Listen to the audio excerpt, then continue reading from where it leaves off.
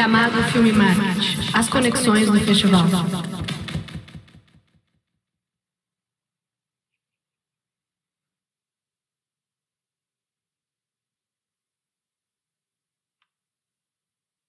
Boa tarde a todos.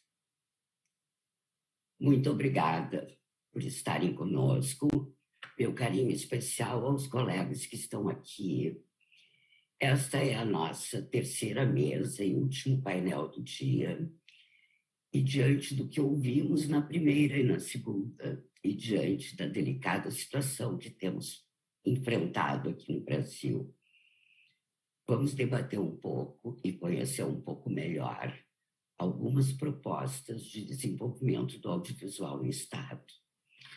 Está conosco o Jefferson Brum da Silva, que é um parceiro realizador conosco como curador da Mostra de Filmes Universitários, representando uma Lab, a Carla Rabelo, que participa conosco pelo Forcine Sul, o Rogério Rodrigues, que participa conosco, representando o Colegiado Setorial do Audiovisual do Rio Grande do Sul, o Beto Rodrigues, representando a Fundacine, o Guilherme Pacheco, representando a PTC, a BDRS, o Diego Tafarel, representando o CIAV, e o Zeca Brito, diretor do IECINE.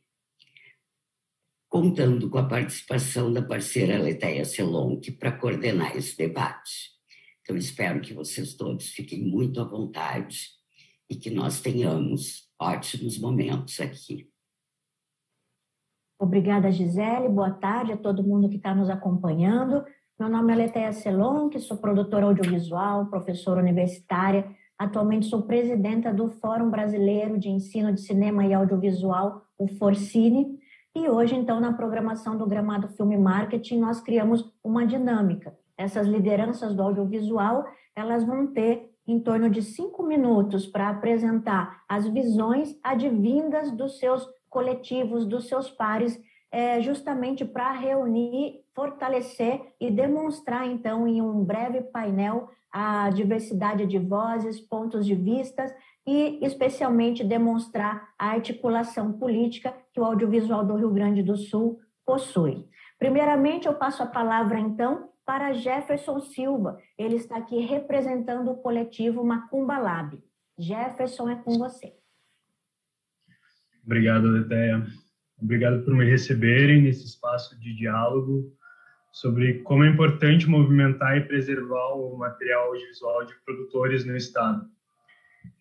Eu entendo que para a gente falar sobre o futuro do audiovisual, a gente precisa entender muito bem do nosso atual estado e muito do que já passamos.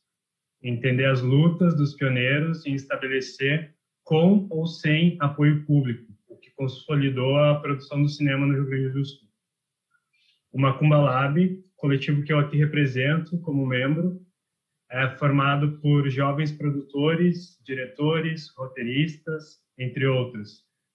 Todas pessoas pretas que se empenham em fortalecer os laços entre profissionais que muitas vezes foram postos em segundo plano pelo mercado audiovisual em um racismo velado, importado talvez como vinho fino Hoje, nos escrevemos o futuro reimaginando o passado. Uh, recentemente, o coletivo Macumba, junto à Reina Produções, produziu um curso voltado para pessoas pretas e periféricas, o curso de cinema documental Odilon Lopes, que contou com mais de 200 horas aula, e a fim de profissionalizar essas pessoas. Preservar a memória do Odilon e transformar nossos ensinamentos em filme é ter responsabilidade de resgatar o passado e sustentar o presente, pensando no futuro inclusive. A produção reuniu um grupo de mais, mais de 50 profissionais, sendo 98% negros, com o objetivo de manter viva a memória de Odilon e homenageá-lo da melhor forma possível, ou seja, formando e possibilitando um espaço para os profissionais negros que muitas vezes veem as portas do mercado fechado para eles E é muito difícil, para não falar impossível, me posicionar em uma mesa de debate sobre o futuro do cinema e não trazer o questionamento racial. Quanto por cento das equipes são pessoas pretas, 15%, 25%? Quanto isso reflete do nosso senso étnico racial nacional? Quanto isso está presente nas universidades, já que pública somente o curso da Universidade Federal de Pelotas oferece um curso de produção audiovisual. Quando a gente pensa em propostas para impulsionar o audiovisual no Estado, me vem à cabeça o caso bem recente da Cinemateca Nacional, que no início da gestão desse desgoverno, os funcionários foram demitidos, quantas milhares de rolos de filme, quantos registros únicos, quantas memórias, às vezes dedicações de uma vida se foram. Será que foi esse futuro projetado para um espaço que deveria preservar? Ou será que foi esse o futuro pensado pelos autores para suas obras? A Cinemateca acabou sendo alvo porque ela depende de uma atividade permanente, porque ela é um órgão de preservação. Como preservar o filme sob a guarda de um Estado que acredita estar diante de uma cultura de marxismo? Quando o Estado é sujeito a esse tipo de oscilações a cada quatro anos.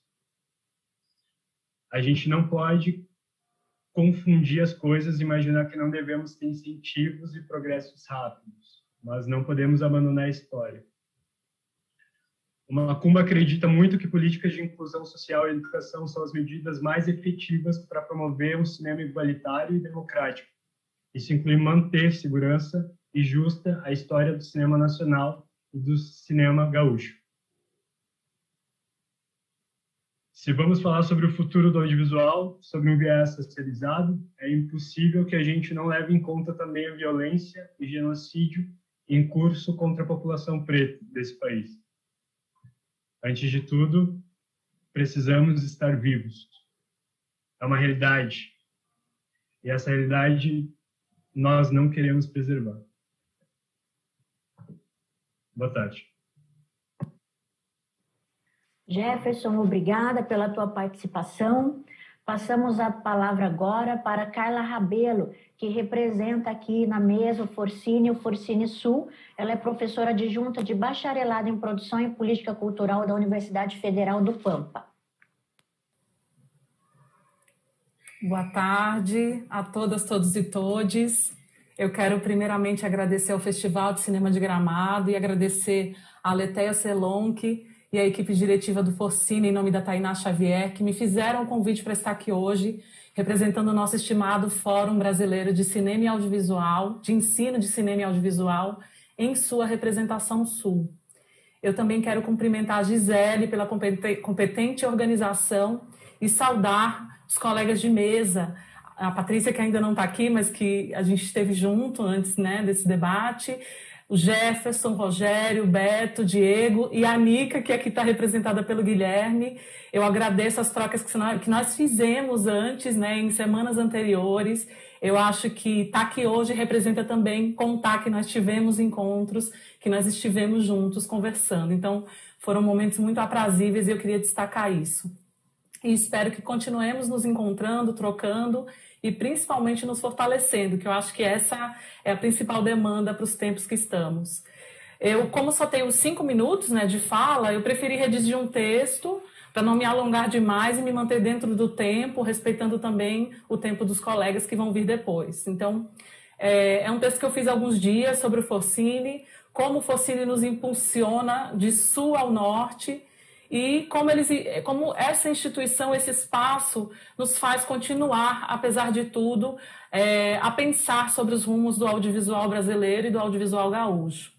Então, o Forcine foi criado né, no início dos anos 2000, com o Greg representa profissionais e instituições dedicadas ao ensino de cinema e audiovisual. O Fórum, que tem uma força fundante de mulheres inspiradoras por suas larga, largas trajetórias e eu trago isso com destaque nessa minha fala, né, que tem muitas mulheres que estão por trás disso, e eu, eu queria, é, ao longo desse tempo que eu acompanho, destacar. Né, elas têm, tem feito o Forcine se movimentar bastante em prol da discussão e da execução de pautas sobre o ensino do audiovisual e sua constante atualização.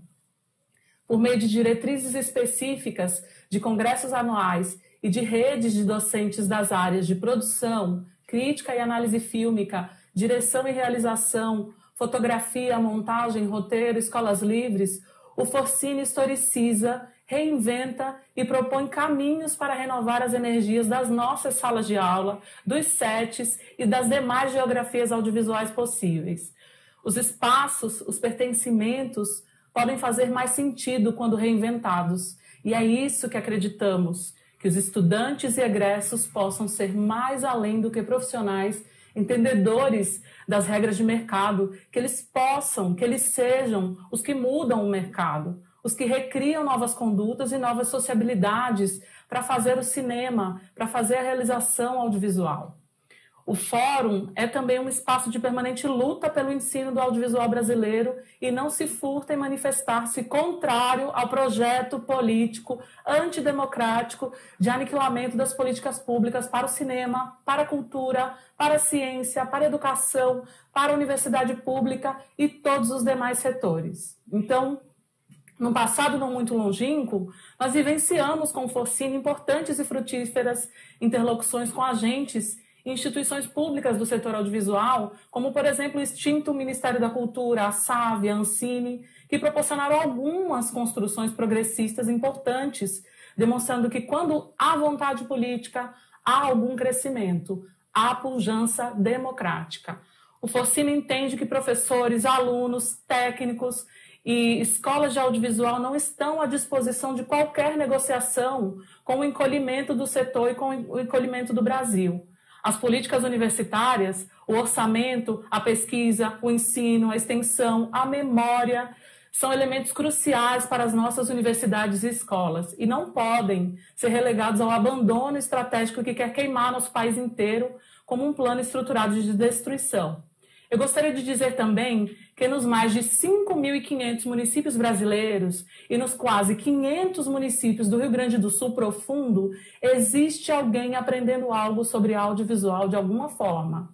E que o futuro recria, o futuro é, pretende recriar e seria que o ensino do audiovisual e sua indissociabilidade entre a teoria e a prática fosse uma meta sistemática de incorporação aos currículos das escolas federais, estaduais, municipais e tantas outras. Mas ao contrário de avançarmos em pautas como essa, estamos tendo que apagar incêndios literalmente. Portanto, seguindo o caminho de que a saída está nas conexões, como essa aqui, na união, no coletivo, nas redes capilarizadas, profundas e fortalecidas, buscamos inspiração por meio de encontros como esse, dentro do Festival de Cinema de Gramado, historicamente demarcado pela resistência e promoção do cinema brasileiro e do cinema gaúcho, e a partir desse estarmos juntos, é que o Forcine também se fortalece aqui no Rio Grande do Sul e demais estados do Brasil. E continua avante, reivindicando pautas como políticas nacionais, diversidades, pedagogias e internacionalização. Pautas que, na verdade, são eixos de atuação que delimitam ações para que o espaço, os espaços de ensino do audiovisual sejam permeados pela diversidade cultural, pela diversidade de pensamento e pela diversidade da democracia que, que representa. Por meio de pesquisas, o Forcini tem escutado suas bases, das periferias aos grandes centros, de baixo para cima, de sul a norte, de Jaguarão e Pelotas a Belém do Pará.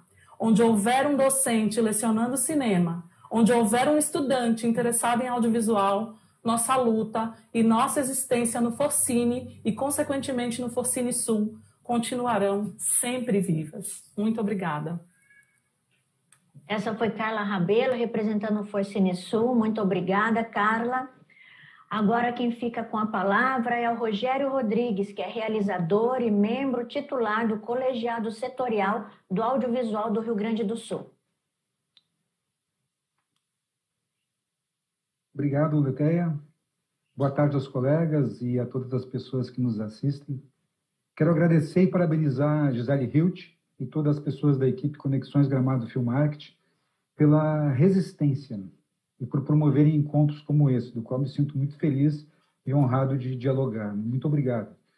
E que maravilha a gente abriu o painel com a fala do Jefferson, achei super né, forte isso, e na sequência ouvi a Carla com esses olhares de luta, mas principalmente uh, falando coisas que nos abraçam de esperança nesse momento. Né? Agradeço muito a fala dos dois e que bom estar com todos os colegas demais aí presentes. Quero salientar que nesse ano os colegiados setoriais de cultura, criados em 2011, estão completando 10 anos.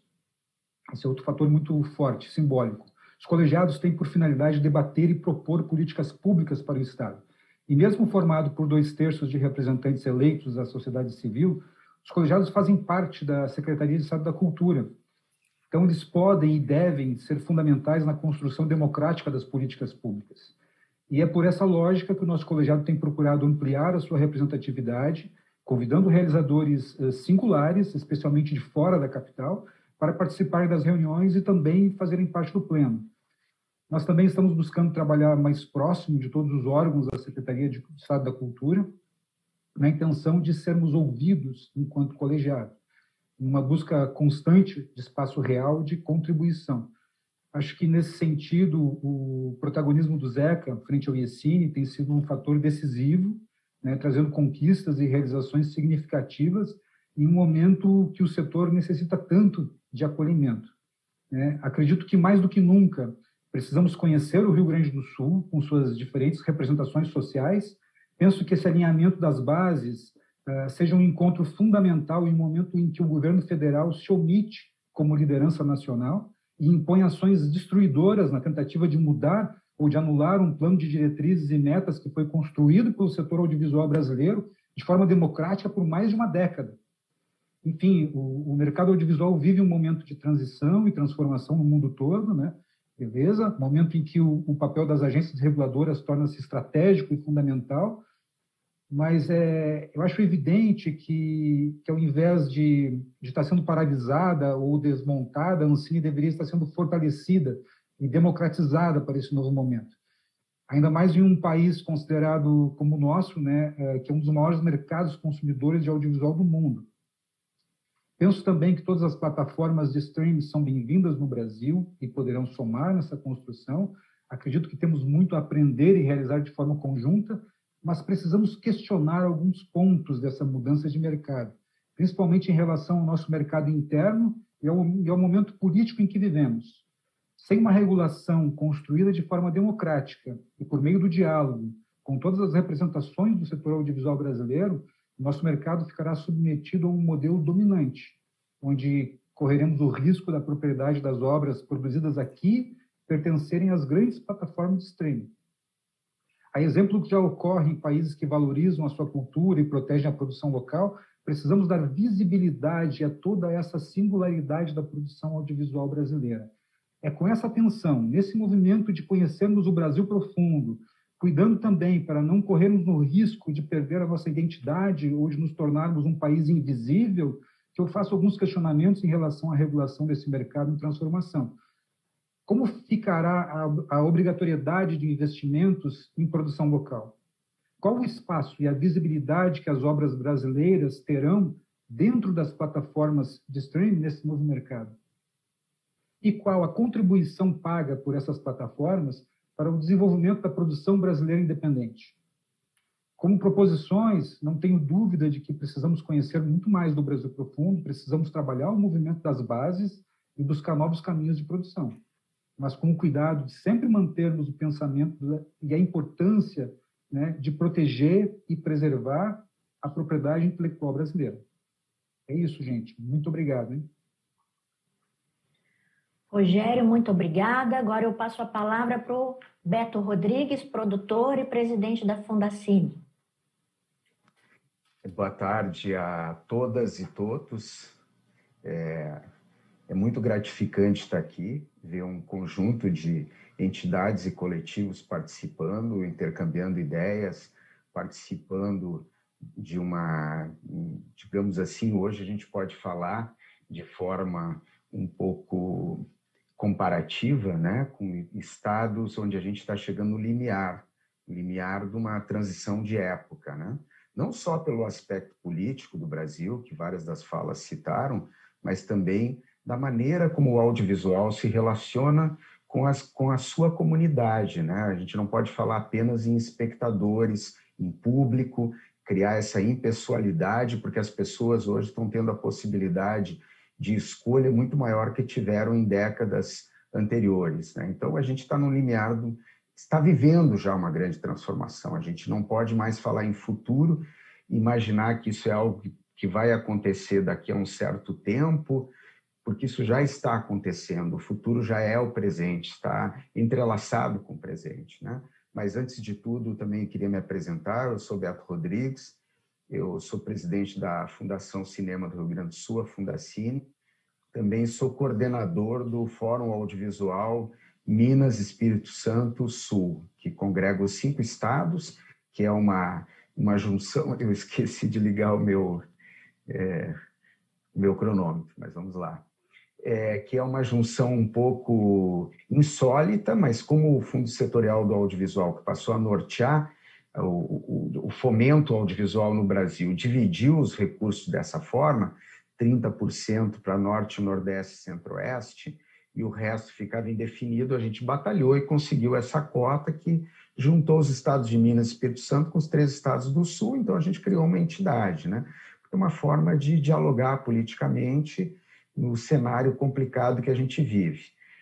E é, eu queria aproveitar o fim da fala do Rogério, é, porque eu acho que esse é o, é o tema central hoje, pelo qual eu há quatro, cinco anos venho batalhando, porque eu fui duas vezes é, participante do Conselho Superior de Cinema, que é o órgão máximo de decisão no Brasil de políticas audiovisuais. Assim deveria ser, assim institucionalmente ele está caracterizado. Eu tive na gestão 2017-2018 e fui reconduzido no final do governo Temer por mais dois anos de um conselho que praticamente não se reuniu nesse novo governo. Né? Teve duas reuniões que duraram duas horas, e como eu fiquei de suplente no segundo mandato, só era um eh, suplente do Márcio Fracaroli, da, dos distribuidores da Paris Filme, né? praticamente não participei. Mas no conselho, enquanto eu pude participar em 17 e 18, um dos temas centrais, que acabou se tornando o tema central, foi exatamente isso que o Rogério falou no final da fala dele, que é o, são as plataformas de streaming, esse novo formato, esse que tu pode consumir o audiovisual em qualquer dispositivo móvel. Isso é, não só passou a ter uma, uma, digamos assim, uma ascendência sobre o mercado, como ele vem absorvendo alguns segmentos que antes, digamos, há 10 anos atrás, a gente previa a trajetória de um filme, que é um dos produtos audiovisuais, que ele começava na sala de cinema, ele tinha um, um tempo fixo nas salas, um holdback de pelo menos quatro meses até ir para uma até ir para o home video, do home video pelo menos dois meses até chegar uma TV por assinatura. E a TV aberta só era prevista um ano e meio depois do filme ser lançado em salas, né? Esse, essa reserva que havia para cada segmento de mercado, ela praticamente se dissolveu. As plataformas de streaming estão absorvendo o mercado da TV por assinatura é, a gente não pode dizer que eles estão absorvendo o público dos, das salas de cinema, porque com a pandemia a gente não tem como parametrizar isso. Os, as salas estiveram fechadas, a maior parte dos países, por muitos meses, e reabrem de forma tímida e voltaram a fechar em alguns casos. Então, mesmo não podendo parametrizar isso, é certo que vai impactar brutalmente também o mercado de salas, a acessibilidade das grandes telas de TV. Então, o streaming já é a realidade. E é o único setor não regulado hoje no Brasil. Rapidamente, a gente tem a primeira lei, a primeira grande lei de, de regulação da nova época, após a extinção da Embrafilme em 1990. Tem a Lei 8685, em 1993, que é a lei do audiovisual. Depois a gente tem a MP 2228, que foi a MP que criou a Ancine, que foi gestada aqui em Porto Alegre no terceiro Congresso Brasileiro de Cinema em 2000. Cinco anos depois, se dando conta que a lei do audiovisual já não conseguia suprir a necessidade de crescimento do audiovisual brasileiro, é, dentro da Ancine foi gestado o Fundo Setorial do Audiovisual, que foi a lei 11437, de dezembro de 2006, e depois, cinco anos depois, a gente teve a Lei 12485, que é a lei que criou o SEAC, o Serviço de Acesso Condicionado, que criou uma cota de participação do produto brasileiro nas TVs por assinatura. Isso criou um boom audiovisual gigantesco, um crescimento exponencial. Há 15 anos atrás, a gente não via série brasileira, a não ser aquelas que eram produzidas pelas equipes dos próprios canais. Não tinha série brasileira independente nos canais. E hoje, eu não, é, digamos, se a gente considerar que está parada dois anos a Ancine, engessada, asfixiada, né? mas até 2018, eu acredito que havia mais de 100 séries brasileiras em diferentes canais oferecidos no Brasil. Então, é urgente, mais do que a gente constatar isso e fazer uma crítica, uma crítica que não abre mão do diálogo, a gente procura constantemente o Fórum das Entidades o diálogo com a Agência Nacional de Cinema. A gente não está como, como profissionais do audiovisual apenas para fazer oposição como cidadão, é, porque certamente a gente é extremamente crítico ao que está acontecendo, mas a gente propõe o diálogo. Esse diálogo, que é com várias esferas, com o Congresso Brasileiro, com o TCU, com o Ministério Público, para regular o vídeo on demand com garantia de cota. Eu vou finalizar em poucos segundos, que eu sei, sei que já estou estourando meu tempo, a União Europeia já se deu conta disso. Portugal, dos que já, regular, eh, eh, já regularam, tem a menor participação, que é 1% do faturamento das plataformas tem que ser investido em produção portuguesa. A Alemanha é um número tímido de 2%, mas com um exemplo recente da França, agora de junho, uma normativa que vai obrigar as plataformas a aplicar de 20% a 25% do seu faturamento na, produ na produção em produções francesas, de origem francesa ou europeias, vai a União Europeia toda vai se repaginar. Eu acho que isso é um exemplo. A gente tem que colocar isso no nosso horizonte como pauta principal da nossa batalha das entidades do audiovisual nesse momento. Muito obrigado. Agradeço a sua participação, Beto. Passo a palavra agora para o realizador Diego Tafarel, atual presidente do CIAV. Bom, primeiro, boa tarde. Dizer que eu agradeço muito essa oportunidade de estar participando do Gramado Film Market. Agradecer a Leteia, a Giza. E dizer que todas as falas que ouvi até agora né, nessas conexões uh, são falas extremamente importantes. A questão do Jefferson me toca bastante, porque eu sou muito sensível e eu acho que é preciso a gente ter políticas inclusivas. Não se faz uh, um festival de cinema sem fazer isso, não se faz um filme sem fazer isso. Não deveria se fazer, na verdade, né? porque hoje em dia as cotas e a participação uh, do povo negro, das mulheres, ainda é pequena no cinema e isso não pode uh, continuar acontecendo. E dizer também que eu sou um presidente do CIAV do interior do Rio Grande do Sul. Eu acho que isso muda um pouco a lógica dos últimos anos. E quando eu aceitei esse convite para ser presidente do CIAV, eu entrei com o intuito, com o intuito de fazer com que as produtoras do interior, as empresas do interior, quem trabalha com cinema no interior, estivesse mais próximo do cinema de Porto Alegre, que é hegemônico no estado, um cinema que uh, praticamente domina o estado no sentido que tem mais produções, tem mais acesso a editais públicos, tem mais verba. Uh, é um momento bem complicado do país uh, e eu acredito que essa mudança contra esse desmonte que está acontecendo pode partir das produtoras pequenas, elas precisam estarem unidas com as grandes produtoras do Estado para a gente conseguir resistir a tudo que está acontecendo. Uh, nesse momento estão destruindo nossa memória, uh, estão queimando nossa cinemateca, a Cinemateca Capitólio de Porto Alegre também corre sérios riscos. Então, se as entidades não estiverem unidas e a gente não pensar no futuro do nosso audiovisual juntos, a gente não vai ter força para seguir em frente e resistir a tudo que está acontecendo.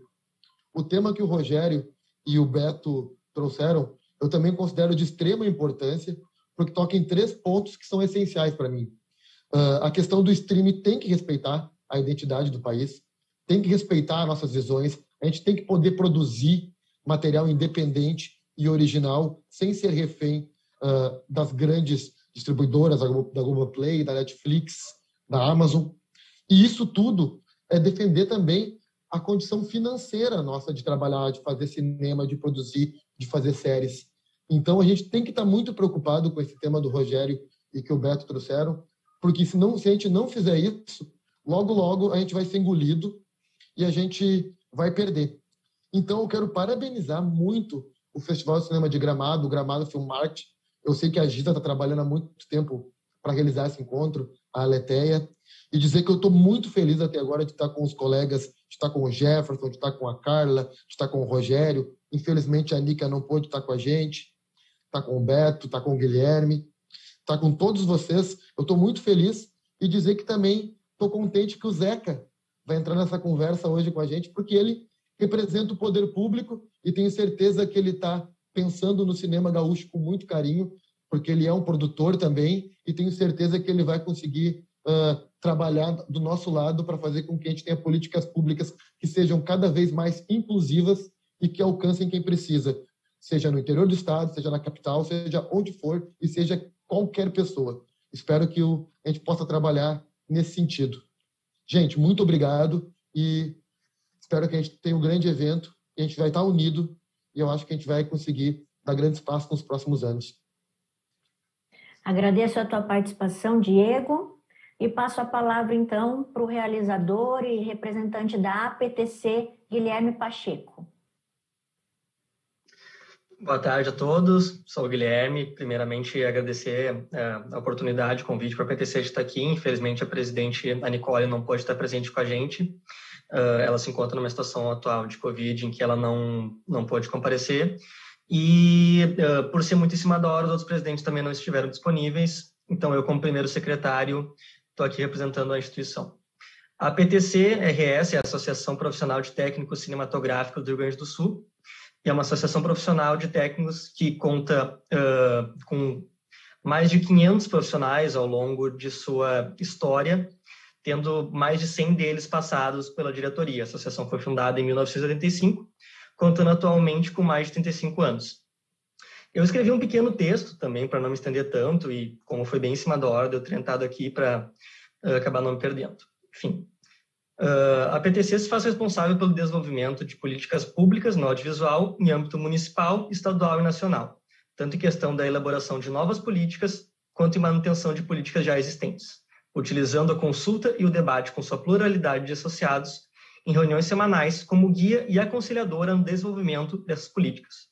A PTC reforça, pelos momentos de incerteza e diante das diárias tentativas de desmanche do setor projetadas pela atual gestão do governo federal, a necessidade da união do setor nessa luta aparentemente incessante de resistência.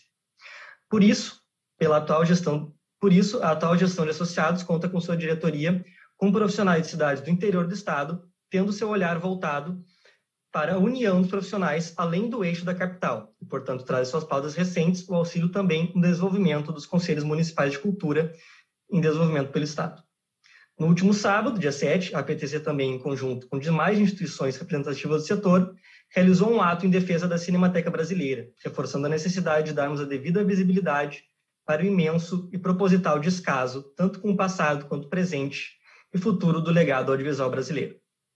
A PTC em desenvolvimento de políticas públicas, como eu comentei, serve também como guia e reforça a necessidade uh, de diversos aconselhamentos por parte do setor, como, por exemplo, no ano passado, a gente foi responsável pelo desenvolvimento do guia de orientação do setor em questão de gravação da pandemia. E, atualmente, a gente está desenvolvendo também o guia para o sistema 3As.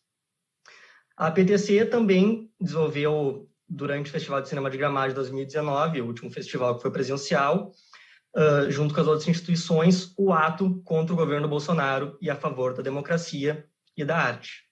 Em geral, a PTC é uma associação que representa os profissionais individuais e reforça sua união na luta.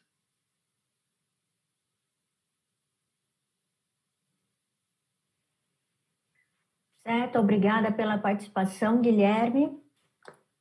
E agora quem fala é Zeca Brito, diretor do Instituto Estadual de Cinema do Rio Grande do Sul. Boa noite, boa noite a todos. Obrigado, Leteia, obrigado, Giza, pelo convite. Eu acho que o, o panorama trazido pelos colegas me coloca um fardo de responsabilidade grande nas costas e eu tenho muita, muito orgulho de, de representar os realizadores gaúchos nesse, nesse lugar de, de gestão pública, que é passageiro, que acaba o ano que vem, começou em 2019.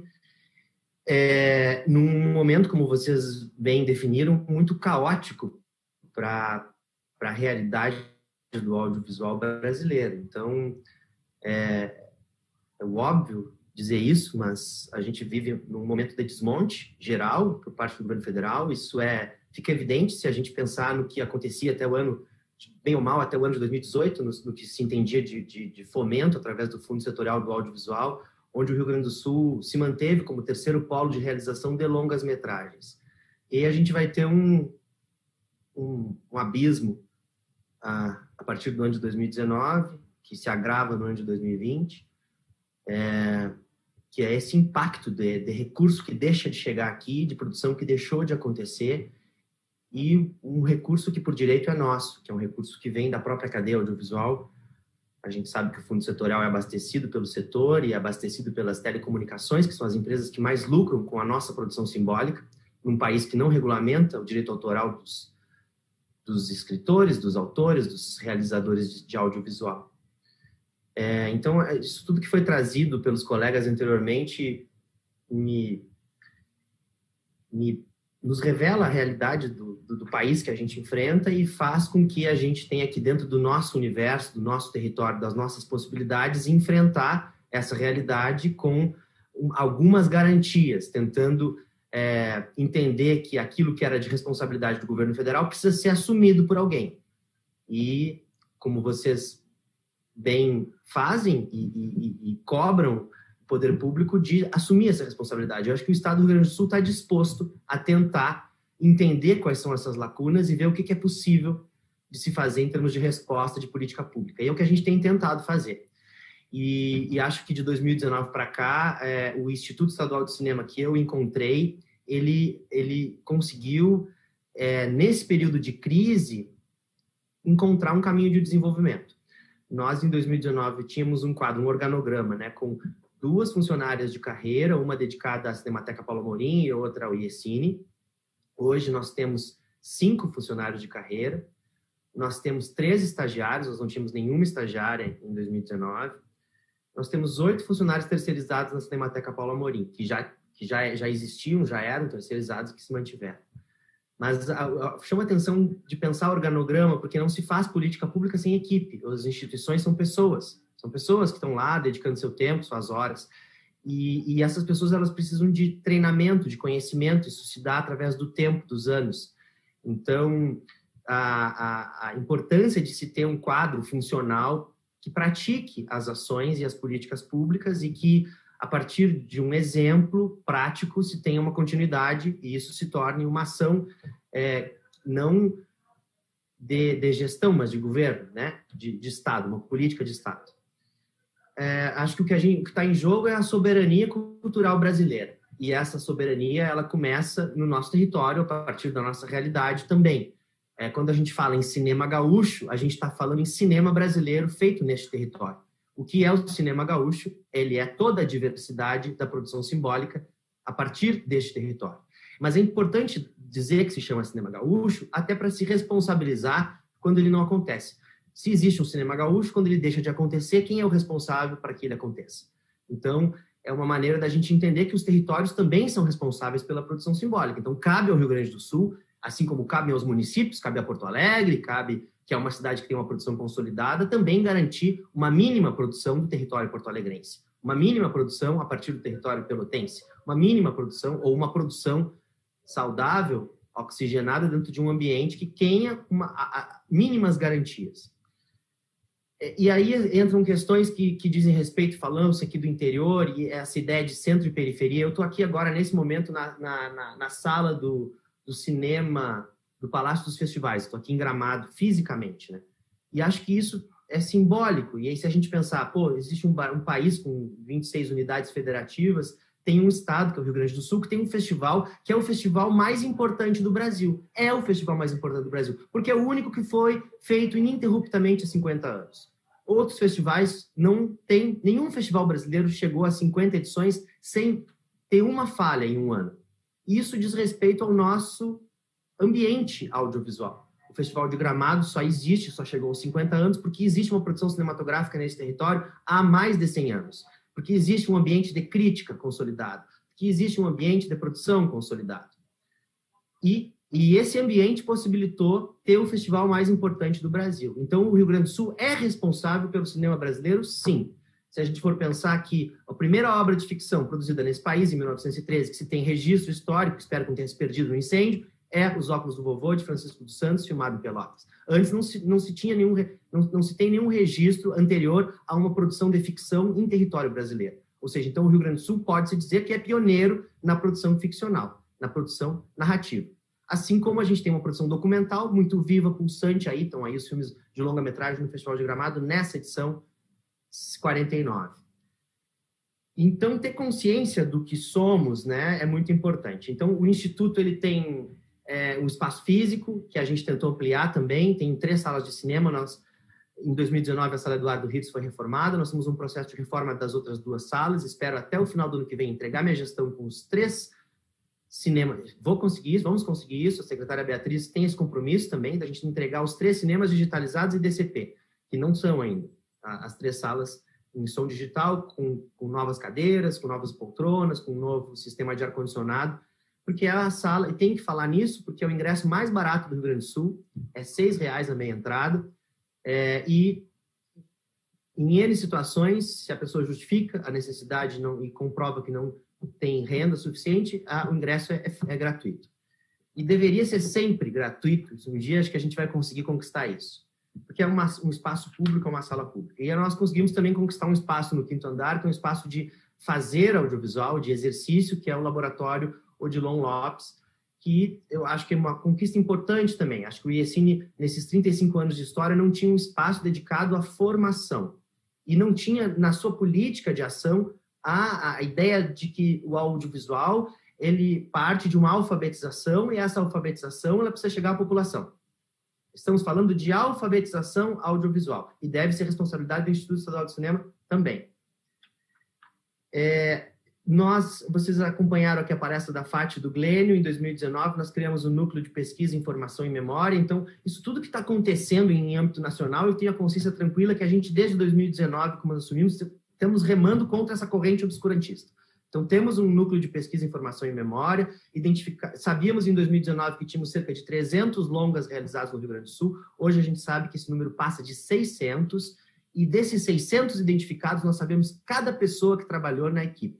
Nós estamos indexando os créditos finais por uma questão de registro histórico, mas por uma questão de dimensão econômica, de saber o que significa essa cadeia produtiva. Quantos empregos geram cada filme, quantos empregos são gerados por ano na cadeia audiovisual, e isso é muito significativo. O Rio Grande do Sul tem uma expressiva quantia de pessoas que vivem, que sobrevivem da produção audiovisual, que tem como primeira fonte de renda a produção audiovisual.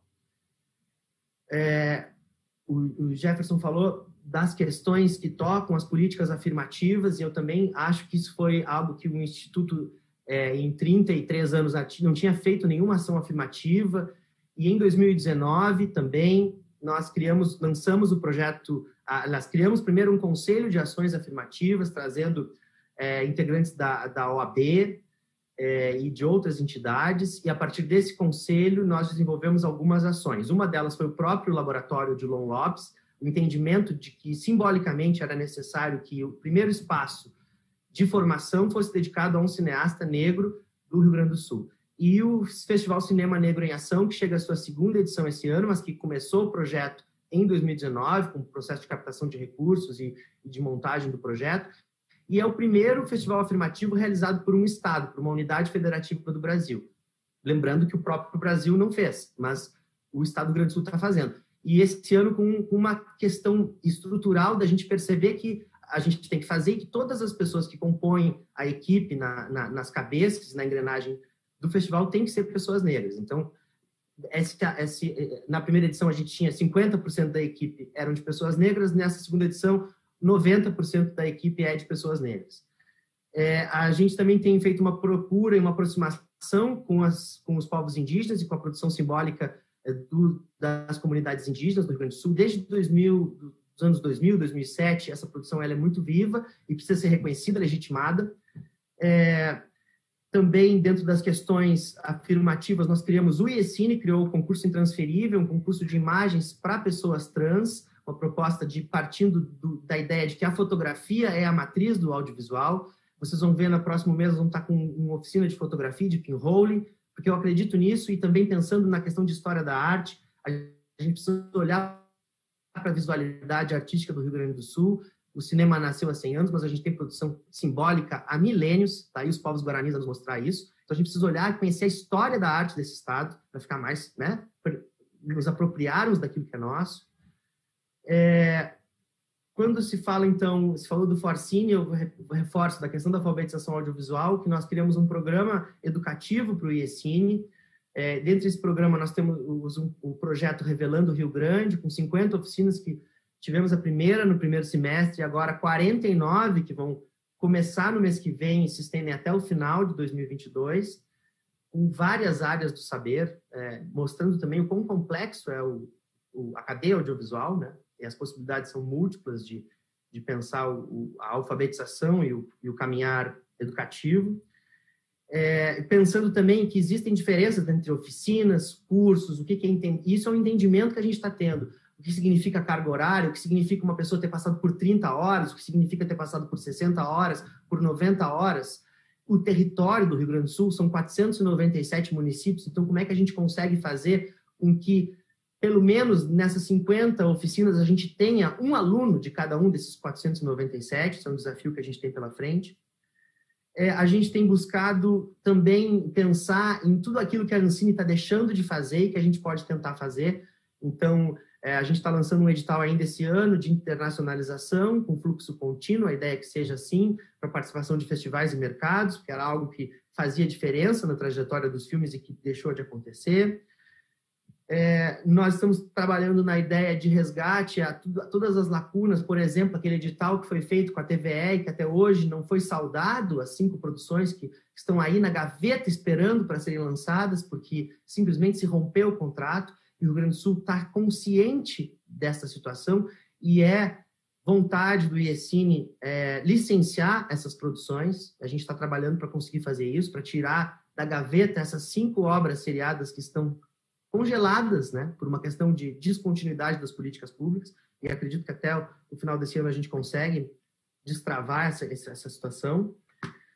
É, a gente está aqui no Festival de Gramado e eu aproveito para falar, porque estamos aqui com várias lideranças pensando a perspectiva de futuro e eu acho muito importante que o festival esteja acontecendo apesar de tudo e juntos eu convido todos a pensarmos a edição 50, a uma abertura, uma, uma aproximação é, da Gramado Tour com o governo do estado e a gente quer aproveitar esse momento para fazer uma aproximação maior com as entidades, então que as entidades aqui presentes possam ajudar a pensar um, a maior janela de visibilidade que nós temos, que é o Festival de Gramado, e a importância dele, e fortalecer as entidades. Eu acho que é um momento, é, nesse momento de desmonte, a gente precisa lembrar que se a Ancine existe, é, é, se o próprio IECINE existe, é porque antes vieram as entidades, porque antes veio a PTC, porque graças à PTC a gente teve o CIAV, porque graças a essa organização as conquistas elas não retrocederam e elas sempre avançam.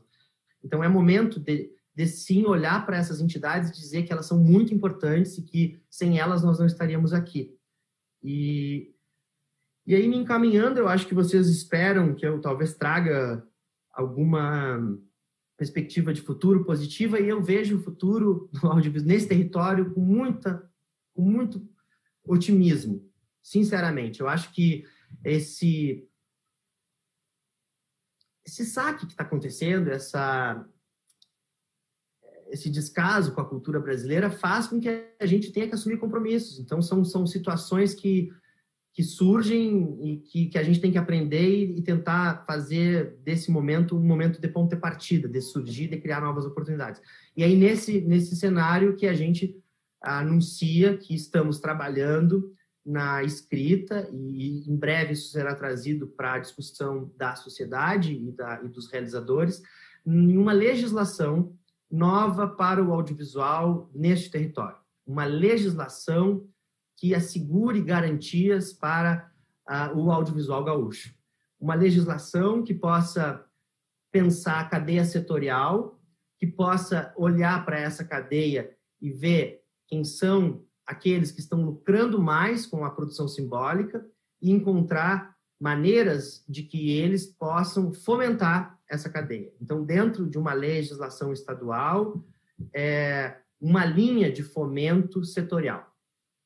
Essa é a, é a novidade daquilo que a gente tem tentado é, entregar para a população e para os realizadores do Rio Grande do Sul. Então, isso é, eu espero que até outubro essa lei possa estar em debate na Assembleia Legislativa e, claro, antes passando pelo colegiado, passando pela discussão e pela avaliação e pela contribuição, pela contribuição das entidades, é, e que a gente consiga, dentro de um sistema que já existe, que é o sistema Procultura, ter uma garantia de porcentagem anual de aplicação no audiovisual e uma espécie de, de, chamada pública ou algo que possa garantir anualmente que esses recursos que são necessários para a produção aconteçam.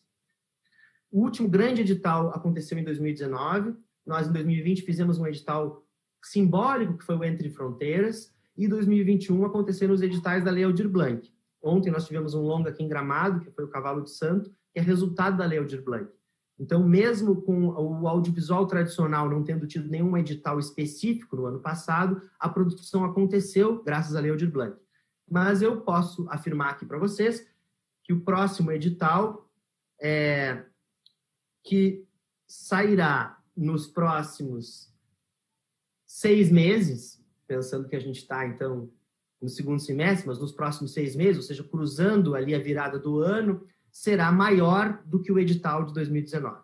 É isso que eu posso dizer. Será maior em termos de montante, de recursos, ele será maior do que o edital de 2019. Porque a gente precisa de um grande edital para retomar a atividade no Rio Grande do Sul, e é para isso que a gente tem trabalhado. E o governador Eduardo Leite tem muita simpatia pelo setor audiovisual. Eu digo isso porque as, as vezes que a gente levou demandas e pedidos de orçamento, esses orçamentos foram atendidos nós fizemos uma proposta, por exemplo, de premiar os longas gaúchos em Gramado esse ano e no ano que vem. Nós já temos a dotação orçamentária, Gramado Tour já recebeu o recurso para a premiação deste ano e vai ser a premiação mais expressiva de todas as categorias. Lembrando que a Mostra Nacional tem um prêmio de 25 mil reais, e é esse o prêmio, e a Mostra Gaúcha totaliza 100 mil reais em prêmios. Então, nós vamos fazer o maior investimento na história do audiovisual gaúcho. E é, vocês serão testemunhas disso e nós vamos viver para ver isso acontecer. Muito obrigado. Zeca, obrigada então pela sua participação, encerrando a fala dos presentes aqui na mesa.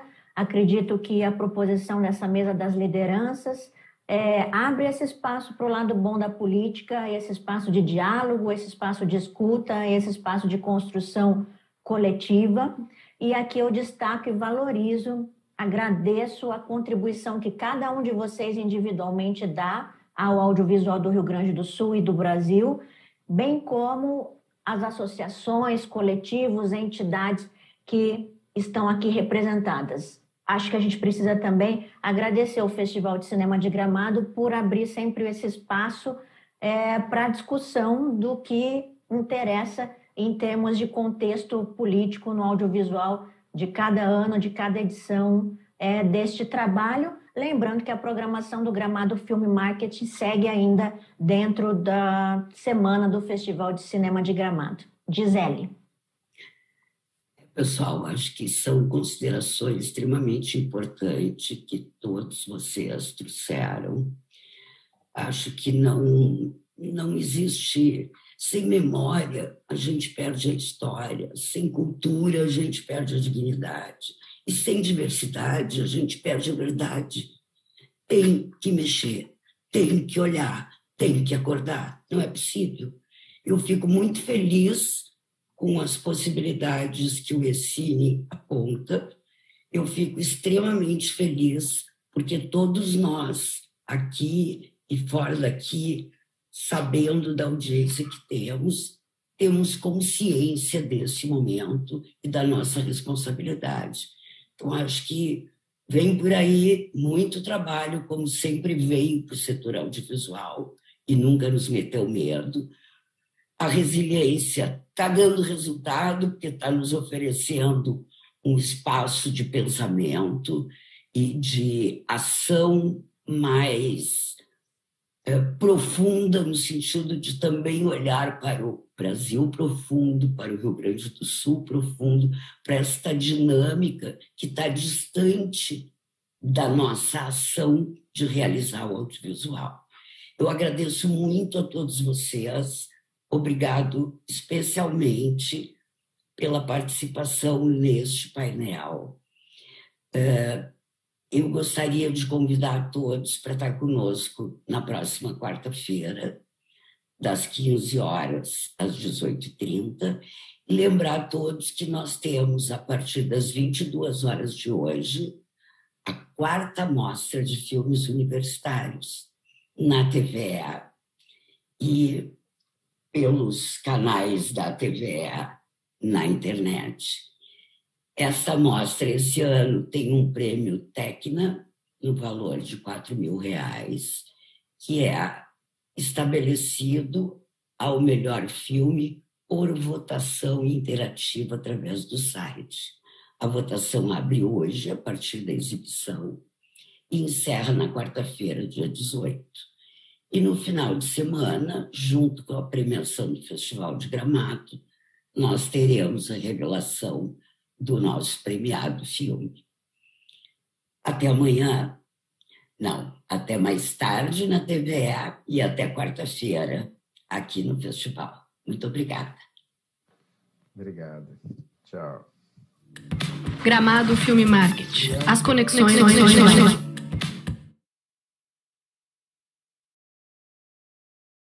Ministério do Turismo e Secretaria de Estado da Cultura do Rio Grande do Sul apresentam.